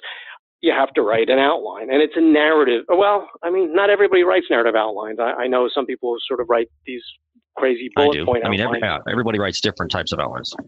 How do, how, what do you do, Dave? I do a narrative. I basically just write a synopsis, uh, a, no- a you know, a 12 to 15 page synopsis of my story from start to finish. I, yeah, and that's what I do. I, you, and you write again the beginning and the middle and the end, and the, what the characters do, and and just the really broad strokes of the Yeah. story, but in a way that somebody can tell what this thing is going to look like. I've discovered. I mean, that, for me, that's the hardest writing. Even though the novel takes longer, it's sort of easier because it's almost at that point filling in the blanks. Yeah, I mean, because you know generally where the road is. Yeah. Exactly. You've got your roadmap, and there's still plenty of room for creativity and for new things. And like you said, Dayton, sometimes you, you end up taking a left, a left, a left turn you didn't expect, but it's just where the story leads you. But you have an idea. I've discovered, as hard as that writing is, that is essential to my process. Mhm. And not just for Star Trek. When I'm writing other things, I write an outline. Mhm. I've just discovered it works for me. Yep. There are plenty of writers who don't ever do that. Right. Uh, But you know, and I, Yeah, but they they make lousy tie-in writers. well, well, they certainly would make. They, yeah, they couldn't. They obviously clearly couldn't write. they would. tie-ins, They, but they they likely would. I would. I shouldn't. I shouldn't speak in absolutes. They might not make the best tie-in writer because of their process. They prefer to write. We used to. We, we call them pantsers. They write by the seat of their pants, and it's like that's. There's nothing wrong with that kind of writing. I- You know, if if that works for you, then more power to you. But if you're going to write for a licensed property, you have to learn that you're going to have to adapt to the other model. That's just the way it is. There's- Um, there's some very famous writers. The the uh, the Elmore Leonards and the Stephen Kings who are seat of their pants writers who don't they're not writing yeah. outlines they're just writing novels and you know to the tune of you know however many millions of dollars say, they yeah. earn I mean they, and and have, they're great tremendously popular and and well regarded by critics it's just like I say you get 10 writers you get 12 different processes but now just for the sake of argument or just for the sake of discussion, we'll go with the idea that somebody is trying to approach a publisher with a story. Let's say they've got a story, they've written out what they believe is a Star Trek story. Now, I don't know if these guidelines are still valid, but they used to have submission guidelines for Star Trek novels. And mm-hmm. it was you had to have an agent. You had to have an agent who would, on your behalf, submit an outline and three sample chapters of your novel to Pocket Books, or it's not actually now it's Gallery Books, but because uh, they've gone right. to the trade paperbacks. But it's so they would submit that on your behalf, and and everybody would be like, why do I need an agent? It's like, well, you you know, there's a lot of reasons why you need an agent, but for the one thing, if if if you can get your editor, if you can get your agent to believe in you to submit your story to a publisher, you've probably won a significant battle in terms of having somebody take your story seriously. Um, it's a way of separating the wheat from the chaff, or it's a firewall, however you want to look at it. Um, once you get in the door that way, and the editor has a chance to look at your manuscript and, or your outline and your sample chapters, here's the kicker for tie-ins. That story may not be the one you end up writing. Right. They may have looked at that as your audition. It's kind of like it's sort of similar to what David was talking about when he sent his Quantum Leap script to a different show. As I re, as I remember from olden days or older days, when you wanted to write for a TV show on a freelance basis, you submitted what was called a spec script, but you didn't send it as an episode of their show. You wrote something else and sent it to. So if you wanted to write Magnum PI, you sent them a MacGyver script. Or if you wanted to write right. MASH, you sent them an All in the Family script or whatever. Yep. So you, you, you know, and that's how they, they judged your writing. They didn't judge your ability necessarily to tell a story with their characters. Hmm. Um, and then if they liked you enough, they would bring you into their room and you would maybe pitch a couple of ideas and they would give you a writing assignment. That's not the way writers' rooms work anymore on TV. Well, by and large, it's it's a it's a group of established writers who work together, and they, there's very little, if any, freelancing uh, anymore. Uh, anyway, so for for tie-in novels, if you get in the door in a, all right, we'll go down two paths. They like your story, they like your outline, they like your sample chapters, so they send that to CBS, and if CBS likes it, that's when you get a contract offer to write the novel. Now, if they like, now, like I said, they might like you and they decided that you're you can tell a story but they're going to give you a different story because again these are live things that evolve with every book and they have ongoing storylines and they have characters who develop from book to book or even series to series so they're going to find a story that lets you write within that framework of established lore. So you're not going to be able to just write your one-off standalone awesome star trek story necessarily and even if you did, they're going to make you conf- make you make changes so that it can conform to the bigger picture. Um, that's how it used to go. Uh, I don't even know that they accept outside submissions right now. I have to look on that one. Don't because I don't I don't want to I don't want to say something incorrect, but I'm fairly certain they don't do that anymore. Yeah, I I, I couldn't say for sure either, but I, my impression is no. The last couple of times I tried to find the guidelines out there, I could not find them on the website, and they used to be very prominent. Um, so I'm I'm susp- now that's not to say you can't do it. What you'd have to do is find an agent that's willing to represent you with your tie-in novel, your Star Trek novel outline and sample chapters, and who would still submit it to Pocket Books. Or um, I keep saying Pocket Books. I swear, I'm, it's going to take me years to make that switch um, to Simon and Schuster, who will then go through the process of submission and evaluation for you. But I would suggest too. I would suggest too that if you've never written a novel or even a short story or anything, um, I, I, wouldn't start tie-ins. I don't general. want to say that you Star Trek media tie-in sh- should shouldn't be your first step, but your your first bit of writing shouldn't be is is likely not going to be a professional sale. Writing, right. like any art, hard. takes practice. So you know, I mean, people sometimes think they can write because hey, I, can sit at my computer and type the same way they think they can act. Oh, they're just walking and talking. I can walk and talk, but there's a whole lot more that goes on than just those aspects of those crafts. And so I, I think if you have an idea or a story for a Star Trek novel, it would you would be better served if that came on the heels of the ten pieces of fan fiction that you've written or whatever, or, or things that you've written on your own that not, not necessarily fan fiction, but eh, if you've practiced as a writer and, and have honed your your craft, because they're going to want you to be a, a good writer. Yeah, they're gonna, and and that comes back to you know, it's they're gonna tie in editors, and this is not just Star Trek. This is anybody. They're gonna go with people who have demonstrated an ability to hit their marks, hit their marks clean, easy to work with, or at least able to work with. Um, and, and, and can do that on a, and can do that on a, it's like, okay, I did it once. No, okay, well now do it again. Now do it again. Now do it three times in a row. Now do it five times in this one calendar year. Now do it while dancing on your head and working with four other writers. I mean, it's there are times when it's literally that crazy. Um, so they're going to go with people who have a track record of some kind. Um, that's unfortunately the way it works with a lot of these types of gigs. Editors are not going to waste a tie-in slot on an unknown writer. They're going to want to see a track record. Um, there's just too much at stake and too many moving parts. And if it goes wrong, you know, then there's a lot of more there's a lot more money and strife involved in fixing that problem. Yeah. I mean, yeah, books that don't hit their deadlines and there are open slots. I know writers who have been called in to anonymously help other writers because it just all went off the rails, you know. Yeah. Um, and we're talking like a new writer or somebody who was struggling. It's it's not a pretty sight.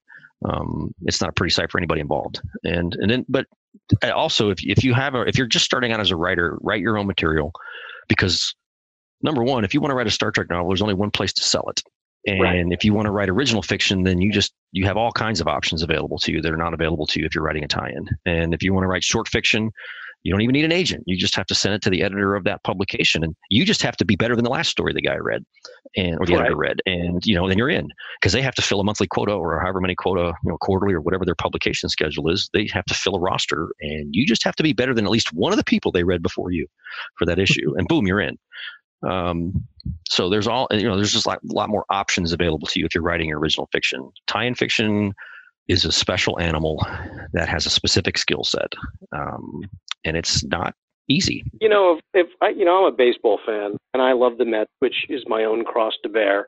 Um, but if I was if I was going to try to be a, a major league baseball player, I wouldn't expect to play with the Mets the first time I played professionally. I would expect to go, you know, play in college and then play professionally in the minor leagues, single A, double A, triple A, before making it to the major league you have to you have to grow in your in your in your craft. You have to you have to to become good at what you do in order to do it in a in an absolutely at, at professional way in the highest levels. Right. And uh, I mean, there are, and Dayton, I'm sure knows this as well as I do. There are plenty of people out there who look down on tie-in novels, and um, I'll say that I certainly have read in my life tie-in novels where I can see why somebody would look down on them because because somebody's just been a hack and has just you know thrown this thing together. I, I had I had I had somebody somebody who I who wrote I read this tie-in novel once and it was just dreadful. It was Drek, and I then subsequently several months later somewhere actually ended up surprisingly meeting the writer and he confided, and I didn't say anything about the novel, even that I had read it, but he confided in me that he had written the novel in three days. Uh, I, I, was aghast. uh, I, mean, first of all, I don't even understand how somebody can type that many words in three days, um, let alone into coherent sentences. But they certainly couldn't do it in a way that provided uh, a, a good finished product. And so there are, there are hacks out there who, or maybe they're just doing it for a paycheck, or I, I don't know. But the people I know who write Star Trek are very diligent about it and uh, uh, trying to write not just good Star Trek, but good novels. And I think the editors really ride herd on us pretty well. They they, want to produce um, something that's not quote unquote just media tie-in work that's actually worthy of being read that that have interesting themes and ideas and you know, expound, expand on the Star Trek universe. And I, I don't know. We no, I mean, yeah, that's not to say that someone who's trying to break in for the first time can't bring that same passion and level of skill. It's just that the deck is stacked right. against them, and it's mm-hmm. yeah. it's through no fault of their own. It's just that's that's the reality in which tie-ins are produced and produced. But also, yeah, they, but if they're writing, word, but it's the best word. Very, if they're writing their very first thing, it shouldn't they shouldn't yeah. expect to publish a novel as their very first piece of writing. They should have been writing, you know, practicing their craft to get good. I mean, there are probably people out there who, who whose first novel, uh, you know, the first thing they write is fantastic, but I think they're probably few and far between. But you and I have both met people who have implored us to help get their first Star Trek story published. it is their first ever story Yeah. or whatever.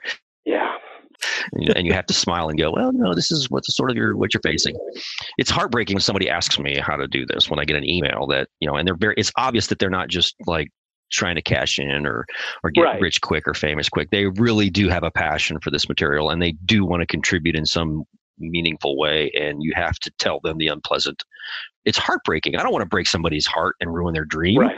That's not my Yeah. job. I mean, granted, there might be times when I think it's a perk, but that's not true. I mean, I really, if it, it's an if it's a, if it's a if it's an honest to god fan who's just looking to make a mark and hoping to be a part of the ride, you know, it's like it's really it's really devastating to have to tell them the unpleasant reality. And uh, yeah, because I don't want to be that guy. But yeah, if you're if you're starting out as a writer, tie-ins should not be your your first place you should be looking. You should try to build your your writing credit, your writing, you know, your right work your craft, hone your craft, get a couple ideally get some credits under your belt somewhere professional credits because that gives the editor a measurable track record. They can go well yeah this guy published a you know a, you know a science fiction novel where he, he's been writing short stories for analog for six years or whatever whatever the uh, thing is. But something that proves that you hit a mark and, and wrote something that an editor wanted to publish. Um, that's that's uh, that's a key for writing in tie-ins. So doing a podcast about Star Trek books really isn't going to help me. I don't think so, man. I'm sorry. Uh, now, now, and this is one of the reasons why I wish Strange New Worlds was still around in some Mhm. form Oh, yeah. because I think that. Well, I mean, obviously, I have it to thank, and that's the. And, and don't don't think I'm not aware for one minute that as I'm giving all this writing advice and all these ideas on how to succeed, that I didn't do a lot of that. I got lucky. I'm the atypical example. I'm the worst example of how to do this because it's not something you can recreate very easily.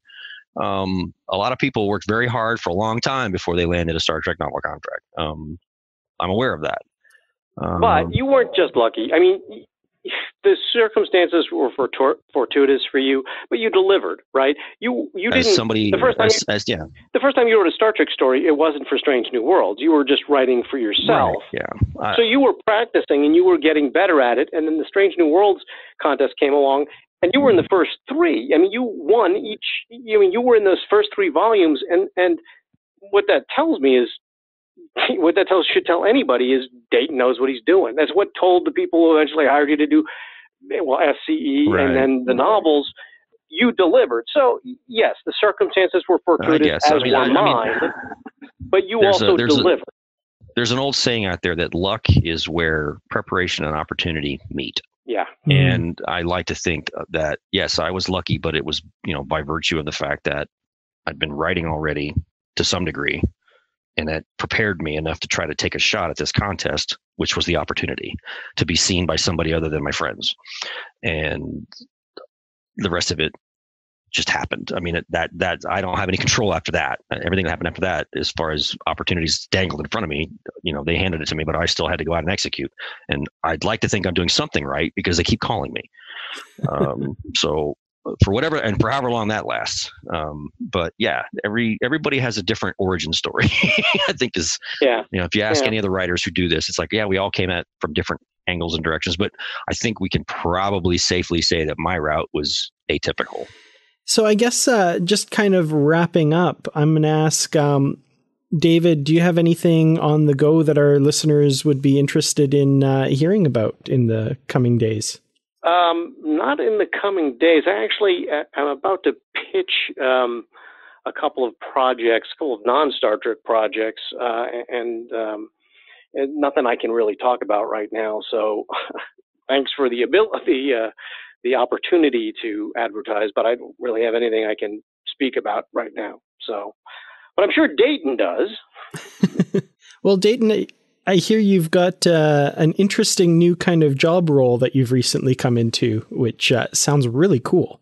Yeah, I wondered when that was going to come up. I tried to I tried not to bring it up. Um, no, it's fine. Um, I have been working for the past couple of months. I've been working as a consultant to what used to be called CBS licensed products. Now it's called CBS Global Franchise Management.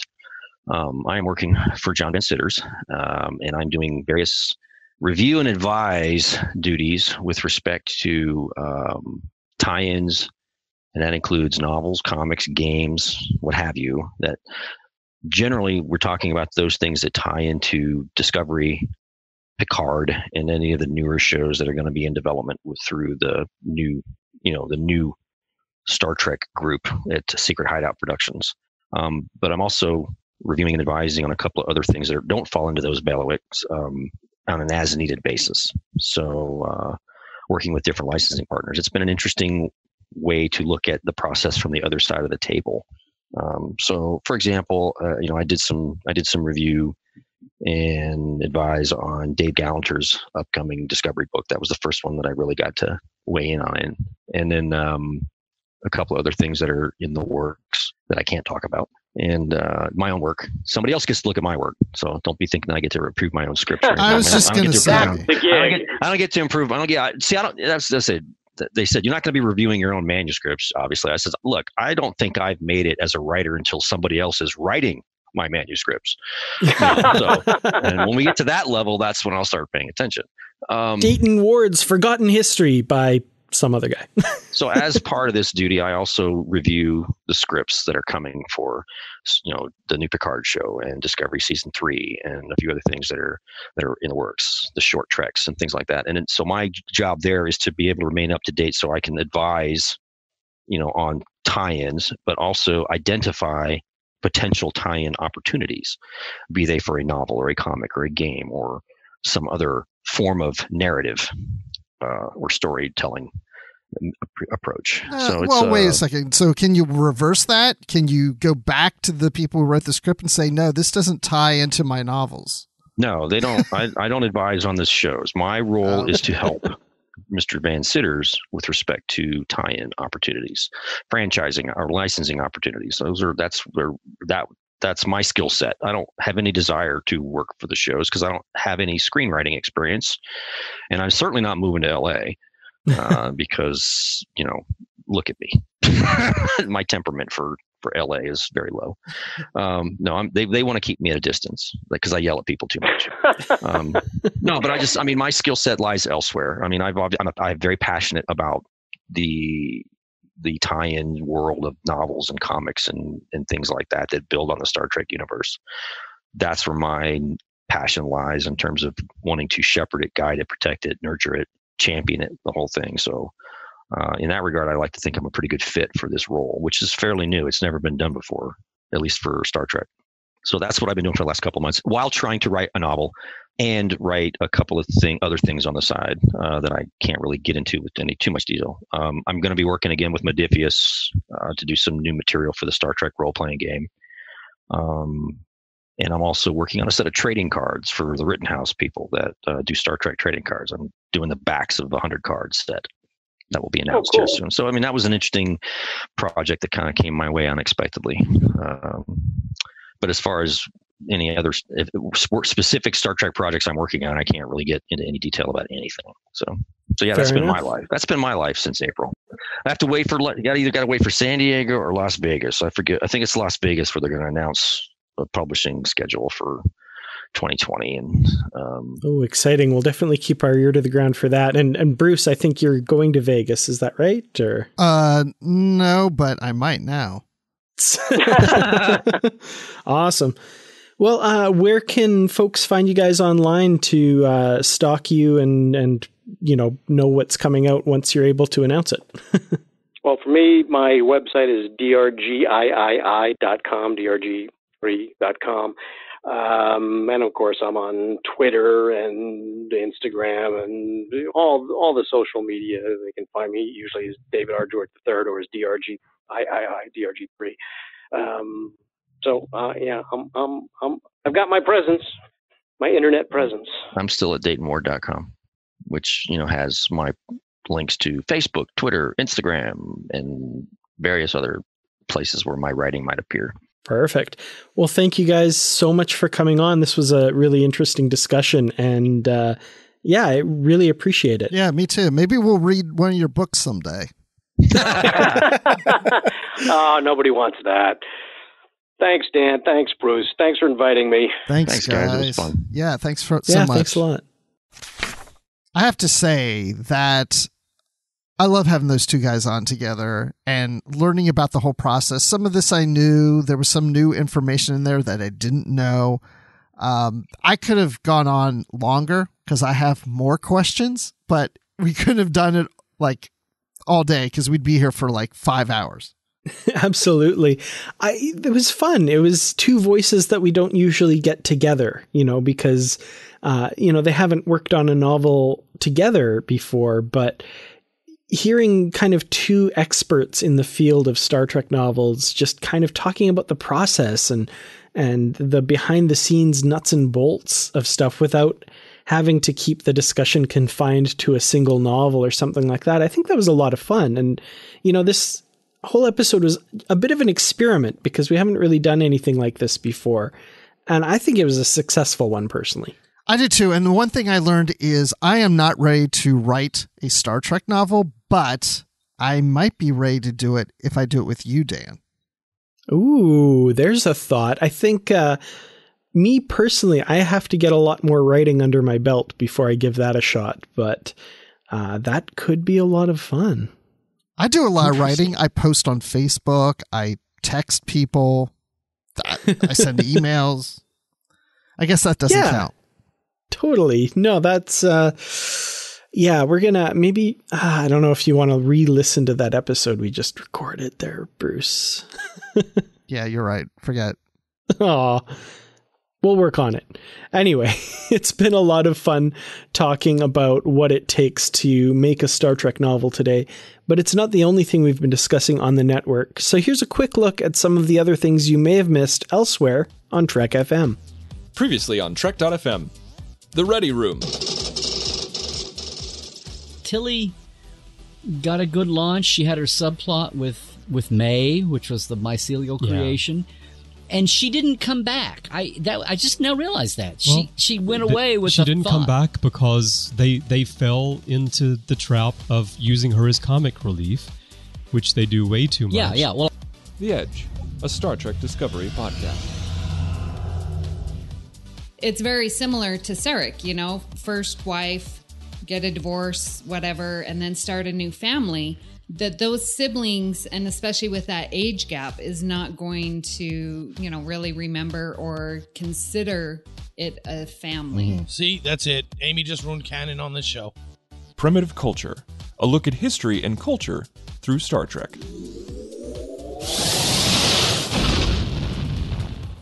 Even that song, the way they sing it, I find it hilarious. You, you know, Terry Farrell clearly can't really be bothered to sing a song, and she's like almost speaking it. Uh, Avery Brooks, meanwhile, just absolutely goes for it and sings. Not only does he sing it, but he sings it in this That's- very kind yeah. of like, "Hello, Hello, Marine, one, two, three." kinda like- Bizarre. I mean, like, I know he like when he when he does his singing later on in DS9. He often he, he does sing. He has a quite a high voice, given what a big kind of booming guy he is, and so. on. But the, the- he like he doesn't just sing the song. Yeah. He kind of commits to. "I- I'm doing a silly nursery rhyme He does commit, thing. yeah.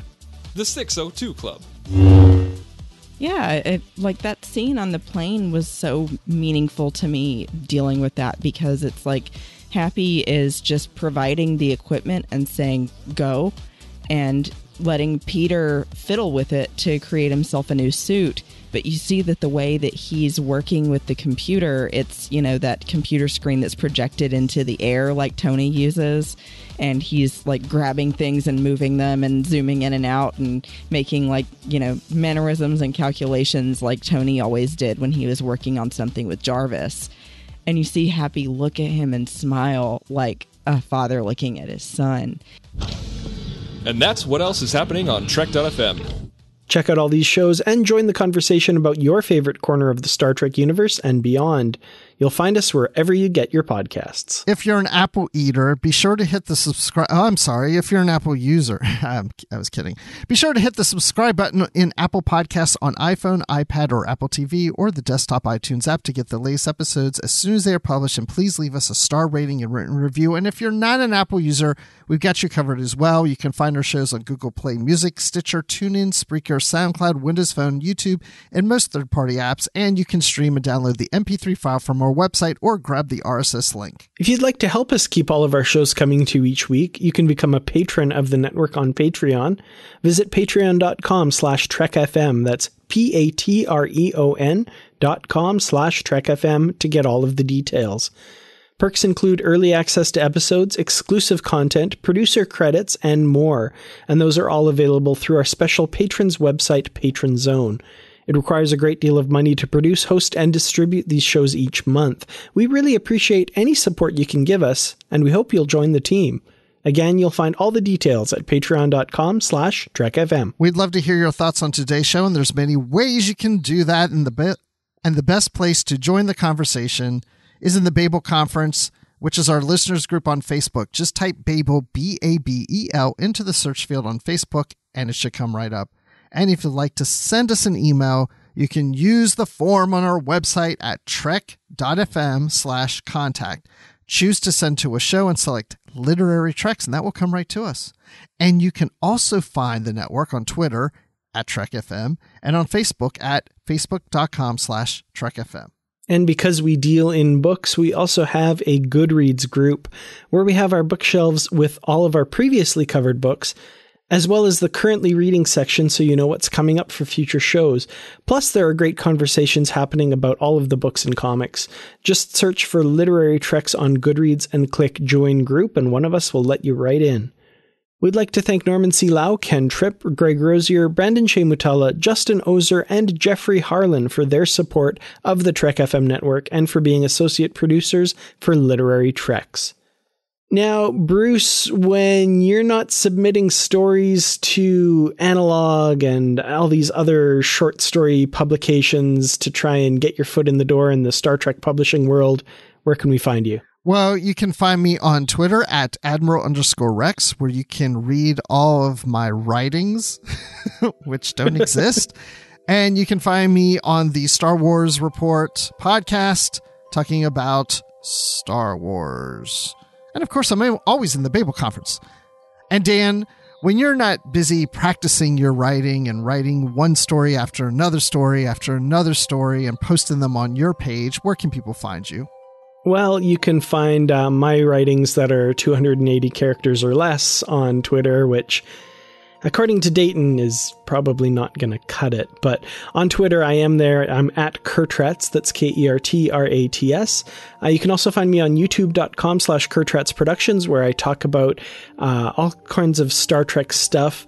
I do do video reviews of new Star Trek novels as well, and those are the least watched videos on my channel. So, Oh, all no. you literary Treks listeners, go watch those videos, get those numbers up. I just like that you said do do.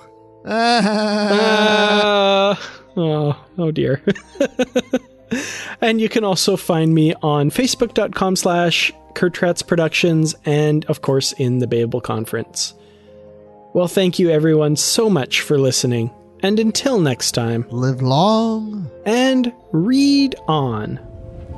You call that, light reading? To each his own, number one.